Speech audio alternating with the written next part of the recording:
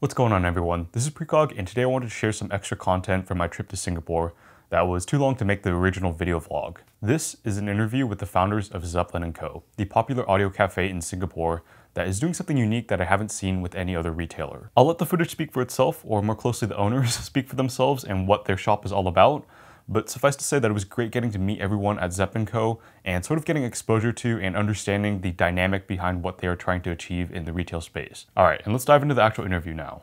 So maybe you guys could tell me a little bit about how you guys came up with the idea for Zepp & Co. and sort of the inspiration. She came up with the idea, Mhm. so she came up with the idea, and then uh, I joined later. So I think she will make her introduction first, and then. Hmm. Very quickly, obviously, we wanted a, a space that I, I created a space because I didn't have any audio store that I like to go to. Oh, okay. Um, mainly because I just feel like so bizarre that it's become like a show of gear and drive accounts and and and it's very um, it's not very welcoming for, Right. for someone who is new and Right, frankly like afraid, you know. Then I just decided like you know if I want to do this, I want to do this my own way. Mhm. I cannot deal with like putting price tags on a product and ta- Mhm. putting it on a wall.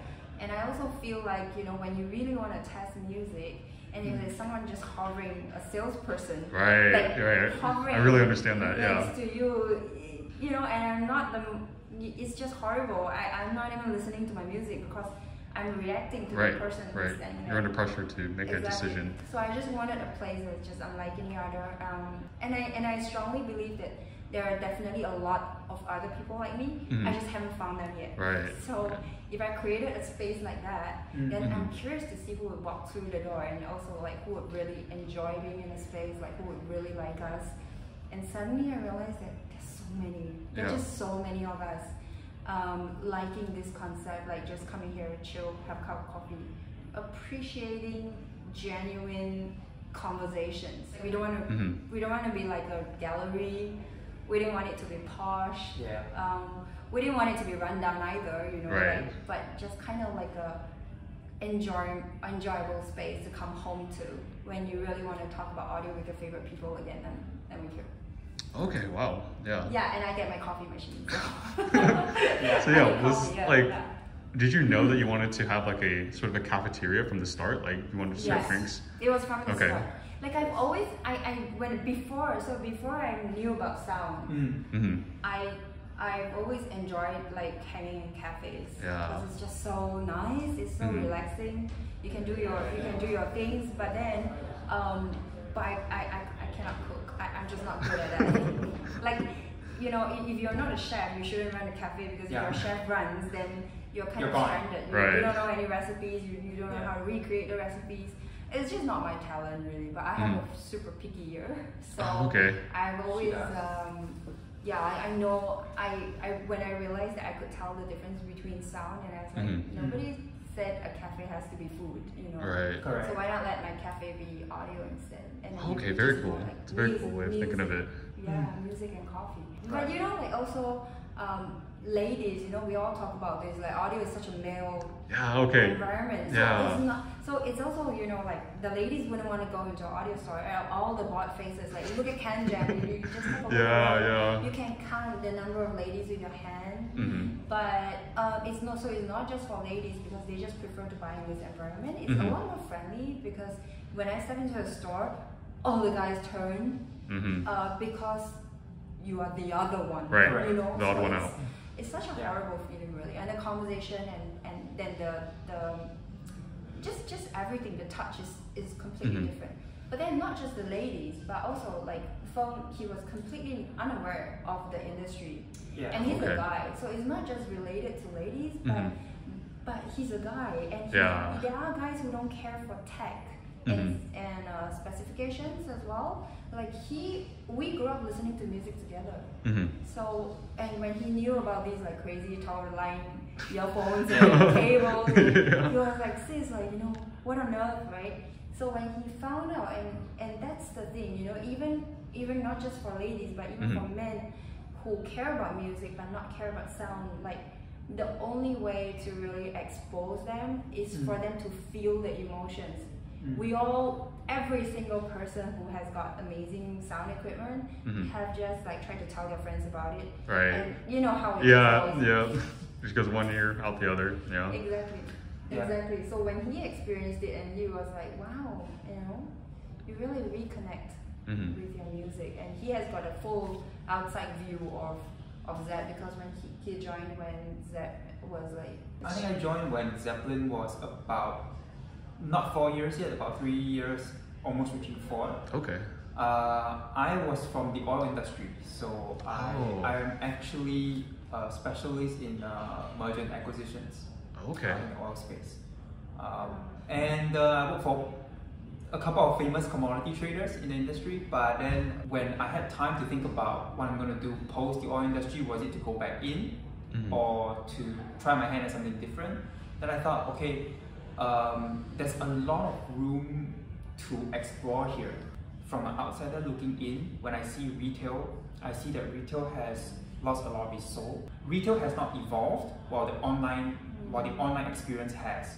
So when people say retail is dead, what they really mean is retail stayed stuck in the 80s Right, right. and then the online store experience took away what, what was what, what before was only them. So when I look at this business together with Kristy, you know, I was you know telling her and saying that retail this is something that we really can do a lot because this industry is so fragmented Mhm. and there's everyone's still doing things the old way.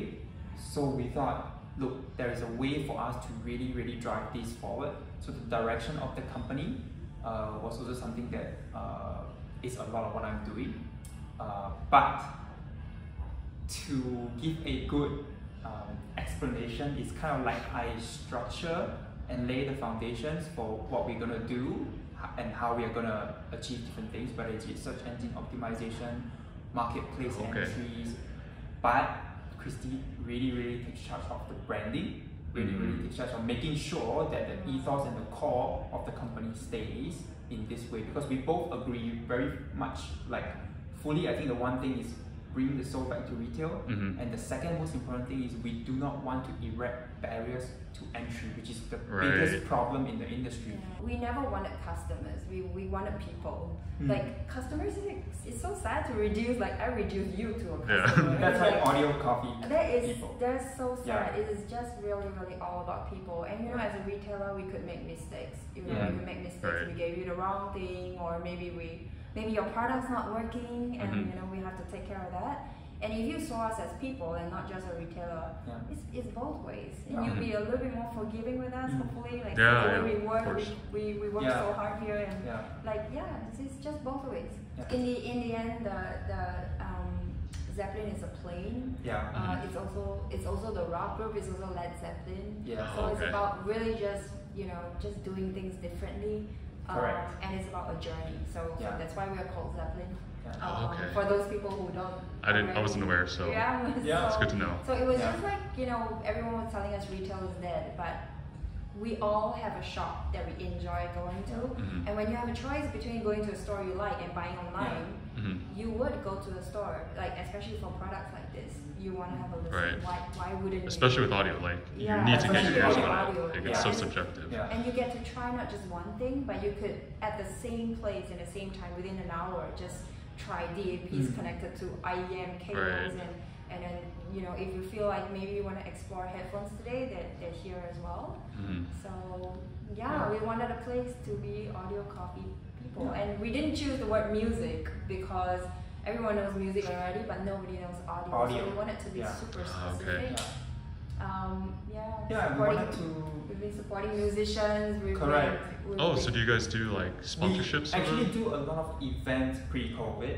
So Okay. every two weeks we have live musicians coming into Zeppelin. Okay. So live music is allowed again Yeah. now. So we might we hold might- live jazz Again. Oh wow. Okay. Very cool. Yeah. And uh, I don't know if, uh, if, if everyone knows, but that's the, I mean, like I'm sure a lot of your audience would know that so Mhm. many of the super top IEM brands are Mhm. founded by musicians. Correct. Ah yeah. Right. They always have a musician somewhere, Mhm. and who knows? Maybe one day we'll get them to come here and play. Yeah. And Okay. yeah, Yeah. and and that's We've that already should be super fun.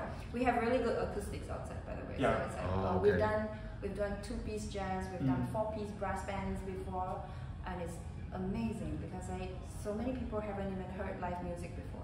So maybe you guys could talk a little bit more about like the trajectory of where you see Zeppelin Co going in the future. Uh, Zeppelin's concept is definitely going to be able to go regional. Oh, okay. Um, and why do we say regional instead of global? Very clearly is that we believe that in the current world we're going to see much more regionalization, but a region is definitely much more. Uh, it's something that we can curate well enough compared to global, right? Mm-hmm. And I think that's one of the first steps. Never say never, of course, Mhm. but the regional direction is really what we are seeing for the first time. And and to tie it all together, the evolution of retail, base base for us, we use the tool as audio. Uh, is definitely our main ethos, bringing the soul back to retail through audio. Uh, where do we see ourselves apart from that is this concept is is something that is definitely scalable, but it has to be done right, Mhm. right? What are the control variables? The control variables that Zeppelin won't give up are quality to service, right? Bringing the human element back to retail, Mhm. that's fundamental. Uh, and we would never want to lose it no matter how we move, whether is it is a franchise model or we are Mhm. going into countries directly with a local partner. Right? These are all structures that you will hear from me eventually. Uh, you will get those news. Uh, how is it going to be done is something that is up for discussion. But but I would Yeah. be really particular because I'm super picky with how the brand is presented, the brand Yes. of Zeppelin, and the Mhm. way there's a certain way we present ourselves. Even I, I mean, I'm sure you saw in CanJam, like Mhm. banners Right, and artwork right. and just just everything really. And I thought we have- those banners with the, the location was really unique. That was oh, very cool. thank you. Yeah. You like those too? This is really great work. Um, Yeah. You know, every time I'm very impressed. Every time I see like the kind of artwork that she puts out. You know, when you're at CanJam. Yeah. Oh, so that was that was your idea to do. That was hers and uh, Fadi and I, yeah. And I worked One together. of our We, we team. bounced off ideas, and then actually okay. that was the last thing we added. Were just like something's missing, you know. Mm. Um, the concept of this CanJam this time was really in a world without travel. Mhm. Like we still want to connect the people, so it Oh, was like aircraft windows. Yeah. there were coordinates, and there was like, although the manufacturers, a lot of them are not here this year, Mhm. but we still want to be kind of their their showcase Okay. for yeah, the yeah. brand and remind people that these people they are they are somewhere Mhm. else on this earth and we are all connected by coordinates you know so Wow, you guys put tremendous amount of effort Yeah. into the details. Detail, Wait, detail, and, And and there's like so many so much fascination like you know during the CanJam our artwork style was also like you know the excitement when you start a Marvel movie when the Mhm. magazine flips Yeah, so yeah. we did that fun kind of Marvel-ish artwork comic Yeah. style but Ah, not okay, not yeah. too cutesy or Yeah. you know, it's just that everything has to be I'm just super picky with that and Yeah. hopefully one day we have more than one Zeppelins Mhm. around the world and it'll be a super fleet and Yeah. I just want that customer to walk through the door to get that same feeling wherever Yeah, wherever wherever we- Right. whichever Right, right. Zeppelin Yeah. they go to So you guys have talked a lot about like the connections and the people, but maybe more to sort of go back to the gear just a little bit. Maybe a more Yeah. personal question for you guys is like, what are your favorite headphones and IEMs? for IEMs I'm using the Odin Oh, okay. Odin. Yeah, very good. Very Uh, solid. it's just so much fun. I couldn't resist. It was just so Mm. much fun. Uh, Lee and, uh, Elysian and I had, had a long conversation about the correctness of sound and everything else. But, yeah. but in the end, we all have different playlists. So, Mhm. personal choice, Odin. I'm having a lot of fun with it at the moment. Uh, I'm still in search for my favorite music player because my old one just died. Oh, no. Yeah, What did you have to before? Bury it. Um, it's a Uh, super old. It's a Onkyo. Onkyo DPX Oh, okay. 1A that I've depended on for years. Um, also partly because like I, I like my reference DAP to be super flat, Mm, okay. so I can have fun with my earphones. Yeah. Yeah, basically. Gotcha. Uh, form factor, easy to use. It shouldn't give me a high blood pressure when I'm scrolling it. You know, Yeah, yeah. thing doesn't work. I understand that feeling. Yeah, some of these yeah. older I mean, we are all Yeah. using our mobile phones and it's swiping fast and fine. So Mhm. you want that to be on a music player as well. Um, headphones. Headphones. Uh, I'm not a big soundstage person. Okay. I'm more about tone and intimacy and engagement. Uh, so I'm actually using the the Rosson, the, Okay. the Red Zero. Yeah, Um, yeah, I it- know. it- My bosses like that one too. That's like yeah, their favorite it- apparently. So the tone is just Yeah. so gripping for me. But I have I have so many favorites, but that's the one I own. Um, I also have a Kennerton, which is also a Odin. I don't know. The, the Mhm. Nordic Yeah. gods have gotten Nordic right. gods have done something to Yeah. me. Um, but actually, I really also like the new ZMF. The my, my two new ones. I'm, I'm, I'm kind of keeping my eye on the ZMF Atrium, Mhm. which is my my favorite ZMF so far. I really liked it as well when I I heard really it. like my it. favorite. It's very- very so musical sound, yeah. And it's, it's finally it's, this time it's a big sound. It, it, so the I'm- like, Yeah. it's very expansive too. That's what I noticed. Yeah. And actually, one more. Um, I haven't decided which one, Mhm. but it's the we recently reconnected with Fostex, Yeah. Okay. and we have found so many ways to listen to the To listen to the TH900 Mark TH900. II. Yeah. So we're still searching um, between the pearl white and the red Mm. classic Fostex TH900 Mark II. Yeah. And with all the setups that we have, we're experimenting and we're rediscovering the sound. It's actually quite amazing. So, so pretty much that's my gear. True wireless. I'm on final audio. Okay. Um, I already have the good gear for all the sound and everything, so it needs to just be. I just want to be happy owning it, so it's like it has to be pretty, the right color, logo in the right place, battery life, connects Right. well. Yeah. Fair, very fair. So that's my gear. Okay, right. So for me, I'll I'll go from True Wireless all the way up. So True Wireless ZE3000, also my favorite one currently. Uh, then IEMs, I have the Acoustune uh, limited edition 1695 Ti, the golden one. oh, very cool. Yeah, uh, that one's really my favorite Acoustune today. Actually, it's the IEM that I, the first IEM that I own, and the first IEM it's been staying with me throughout. Uh, there are a lot of IEMs that can perform better right now because uh, the Acoustune 1695 Ti is 1DD, but Mhm. it's a 1DD that knocks everything out of the park. It sounds like multiple drivers. It's incredible. Uh, I love the sound. It's fast. It's tight. You know, it can do the lows really well. It can do the treble well without being sharp. Uh, I like Vision Ears' EXT a lot. Oh, I yeah, I think heard that's that gonna be my addition to it. Uh, and headphones. Headphones, I have a current favorite, which is the ZMF Atrium. The ZMF Atrium is once I heard it, I was like, this is incredible. Um, but the Kennerton Odin Oh, is my favorite. Okay. It's my favorite, but the favorites evolve. Right. Right, It's all always time. changing. You know what I mean? The Right. favorites evolve all the time, but but the 1695 Ti will be always like kind of like always because it's Special like first, right. first right, and uh, the Kennerton Odin really special sound and music, musicality is something that really really Yeah. quite special. And for desktop setups, for her she has the Mass Kobo. I have uh, the CMA 12 Master, which is the all-in-one DAC amp. Okay. Uh, it's it's the master version, so it's got the AKM chip, which is the last of its batch for. Oh, right. The factory, the factory burned burned down. down. So like- there's not gonna be any more AKM chips anymore. so this is a beauty that I had. CMA 15 is also. But CMA 15 sounds incredible, so I might add to my collection.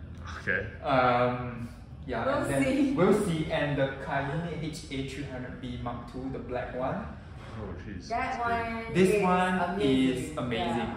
Um, so good. I suspect when I start moving into tubes, Mm-hmm. That's gonna be your pick. We just have to make space for it. But We it's just because in to Asia, space is such a big Right. issue. Right. Um, but it's just, I mean, you we all know it stole the show, CanJam, Mhm. Yeah. with the Cayin HA300B, Yeah. with paired with the ZMF Atrium. There was Yeah. a long queue. Yeah, yeah. I was waiting in that queue for a while. I know, Yeah. it was a long queue, but it Yeah. just sounded so good and everyone was Mhm. talking about it. Right. There's a. Yeah. I mean, as, as retailers, we all have our favorites. The team never agrees. Never agrees. we don't, we, we find it so difficult to agree with each Yeah, other. yeah. Correct. But but what is really the test is when customers really walk through the door and it's just not, Mhm. not one person's opinion, Mhm. but everyone like An aggregate, right? and chose that eventually. So, Mhm. that's, um, yeah, Okay. Yeah. Is there any last things you guys want to add? Listen to more music. listen to more music. Um, yeah. come visit us. All right. Thank you guys so much for your time. Thank Yeah. you so Thank you. much. Michael. So you see this, it's like a downward sloping. So the first stop, your teeth goes on the first stop, it's like that. Just hold it there in your mouth. Don't clamp down, just hold it there. The objective is to keep your jaw in a fixed position. So once this is, goes on and the process starts, don't take it off. You'll start breathing, that's what these are. Okay? Quick check on your ears first.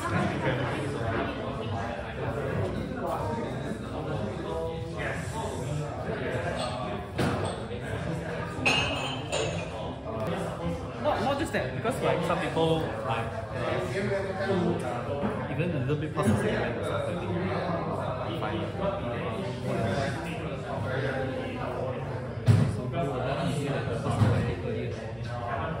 Oh, fantastic! Nice big deep holes. Is that the impression putty? yep. Oh, okay. So basically, that, that little foam block thing is just a little dam. It's to stop the impression material from reaching Right, past right. and too deep and touching your eardrum, because uh, then bad things happen. so most impression putty will come in a two-part Hmm, okay. putty. Once you mix them, they'll start to cure and harden. That's a common point you will see. There's a few different types and a few different colors. Mm-hmm. Generally, you'll see like uh, I think Westone had the Egger Egger one is like a, once you mix them, it's like a little pinkish. Yeah, yeah, I think that's what I have. yeah. Then there's like the, the, the Chinese one has this like lime green, yellowish, Okay. orange thing one. And Westone has like two different colors. I can't remember what the colors are. Okay. Basically, all the difference is uh, between them is like maybe some of them are a little bit harder, Ah, okay. and some of them retain the shape a little bit. Right, more, what you want. Right. Yeah. Okay.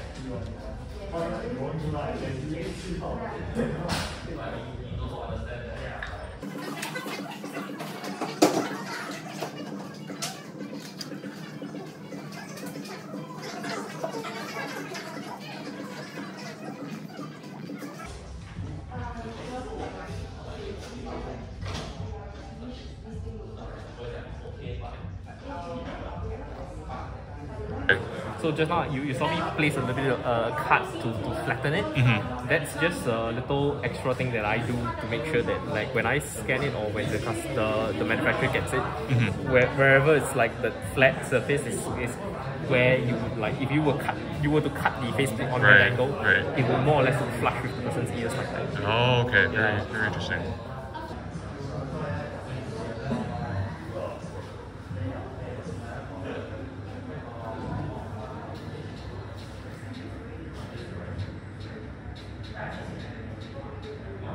Bit of warning to you, it's gonna take a while. No worries, no worries. Yeah. So, so that's the calibration plate. Mhm. So this is what you put the impressions on. You see a little three Ah. spikes, and normally we want to make sure it's flat. It goes on like that, and just do a check to make sure that the Right, spikes are not poking out. What if someone's ear canal is like very, like not elongated and it No. pokes through? Has that ever Uh, happened? um, generally speaking, it won't happen because the, the spikes are like maybe like this tall. so Oh, unless you, you took the impressions like way too short and they have right, nothing to cut, then then it would. Okay. But you could you could elect to have it like hovering out like like Oh, like oh, that a little bit. It's fine. Yeah. But that's generally what you wanna okay.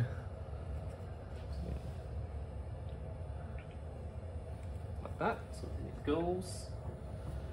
Right. And so there are few settings that normally we, we don't I mean I don't really care too much about it, Mhm. but the most important one is the smoothing level. Right. And normally we just leave it to high. Okay. And so that was the right side, so we click the right start. Okay, now it's gonna start scanning it. It's gonna start scanning.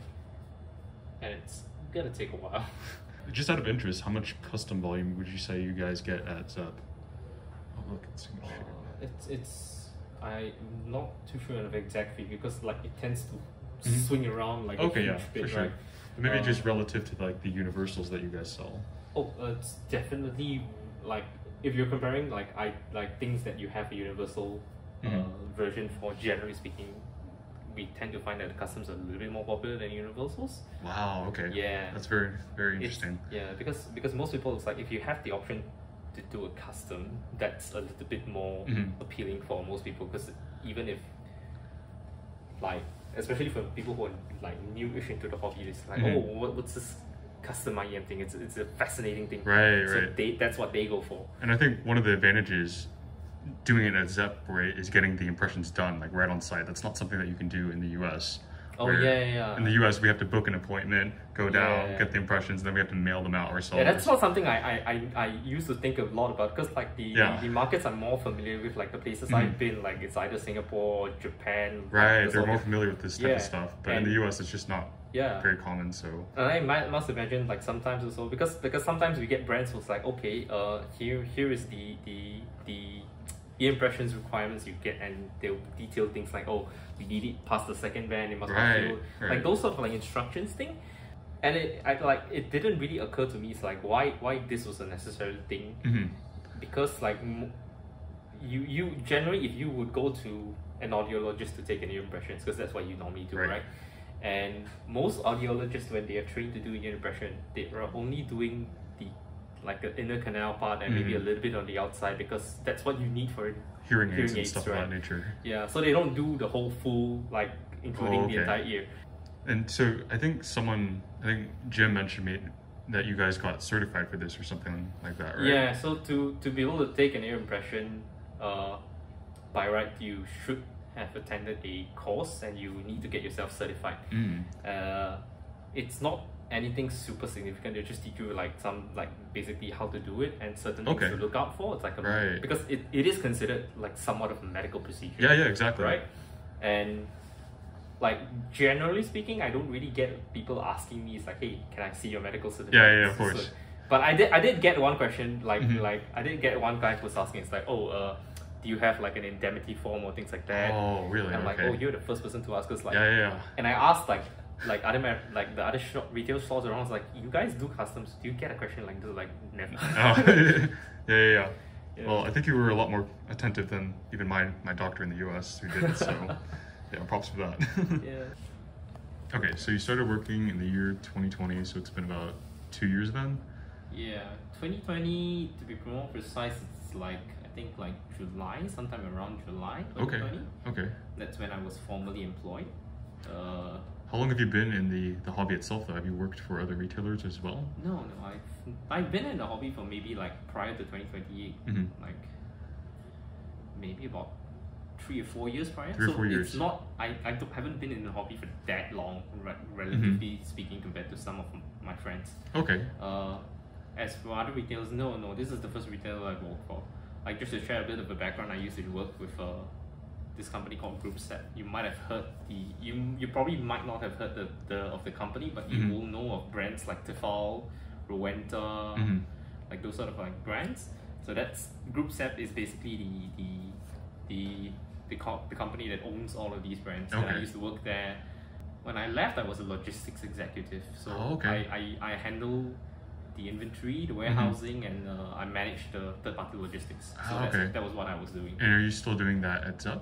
Uh, mostly. Uh, so my role in Zep is uh, ev- ev- everybody mans the store. That's Right, right. that's a thing. Uh, but the, the where it differs is a secondary duty. So my secondary du- duties pertains to inventory as well as a local stock purchasing Okay, and things like that.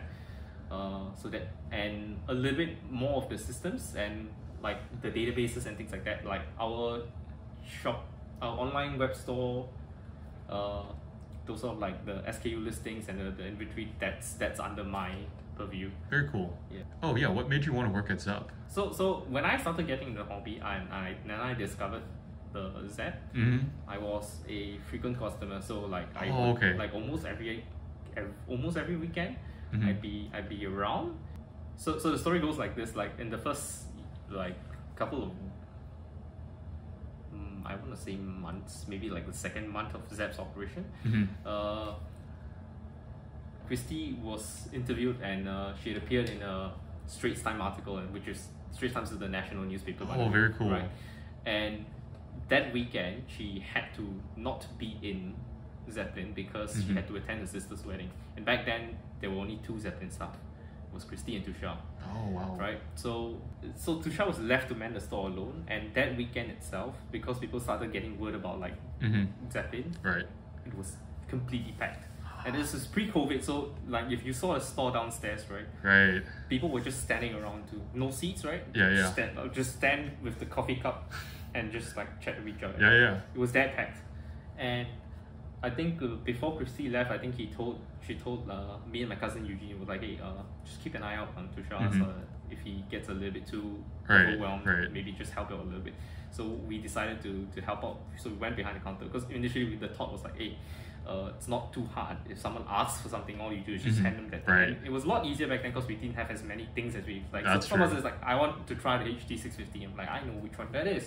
Here you go, right? And it sort of like started from there. And the reason why I ended up working at Zeppelin was because like I think like after uh, after we've been doing this like on and off like and we knew Kristy and and Tushar for a while. Mhm. Uh, I think Kristy was like thinking that Zeppelin needed a staff who was a little bit more like logistical minded, like Oh, okay, for very cool. So you found because yeah, right because into that position yeah. basically. Initially, she asked me, like I think like on the second year of Zeppelin's operation, whether I wanted Mhm. to join Zeppelin, and I, I turned it down. Okay. I turned it down because I was like, oh, uh, I'm still very new to the workforce. Because like like the job I had with Groupe SEB, that was actually my first job, Oh, okay. right? Okay. And I've only been there for like a year, Mhm. so I just didn't think that I have a lot to contribute. Although Oh, okay. I could do some certain things better than she could, right? Mhm. Until I think it wasn't until like three years after that. Another three years. Yeah, because uh, uh, every year she would be like, "Hey, if you're like join this year," I'm like, uh, "Maybe not this year." Right? Gotcha. Yeah, it was until a certain point where I decided, like, you know what, I, I think I'm ready to leave that company. hmm Now you're built up that experience, Yeah, right? yeah, yeah. and then and then she was like, "Yeah, the, the positions, the, off, the offerings Still still stands, there, still right. stands. Right, uh, come on over." Awesome. Awesome. Yeah, and that's how I. Got, oh right. Oh, and it's done now. So Okay. that's one side done. And normally I would do a quick Mm-hmm. Scroll and check also, make sure it's like looks mm-hmm. normal. So that seems fine.